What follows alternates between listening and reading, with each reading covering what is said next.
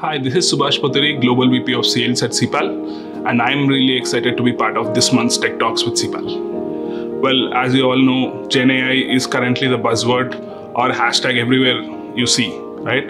But before we deep dive into what GenAI means for the business landscape, I'll just give a very clear uh, interpretation of what it actually means. Generative AI is a catch-all term for deep learning language models which when you know which is trained on a lot of unstructured data. And once these models are trained any prompts or input questions that you give the responses would be in a much more conversational and contextual manner which mimics human expressions or human and the unique thing about you know these models is because they're so close to you know how humans interact with each other this kind of technology is very easy to adapt understand as well as implement now that we've got that out of the way let's look into you know what could be the potential business use cases of gen ai right? I'm sure all of you have used chatgpt or any you know or github copilot any of these gen ai platforms. Right from the start itself you know you could see there are huge amount of business use cases very obvious business use cases. We ourselves at Ceipal want to use gen ai to really cover through a lot of raw customer feedback out there on review platforms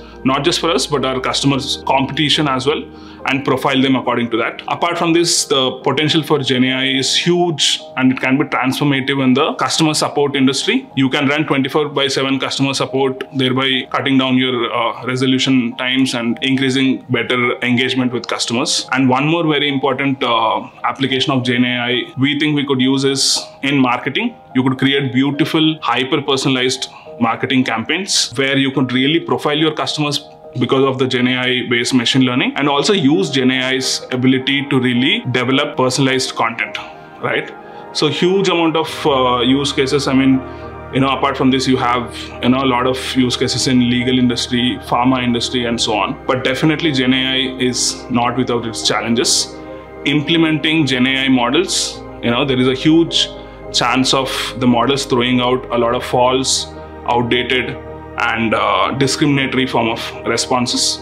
Moreover, you know, these models are typically never trained to say no, right? So even in case where, you know, it doesn't really know the answer, it will give out an answer in spite of it being incorrect. So I think we really need to be, the biggest challenge right now, uh, you know, to the business industry, obviously, as much as evolving this technology, is also to figure out what is a safe and scalable approach to implementing, you know, Gen AI. So I think that's it from me. Thank you so much.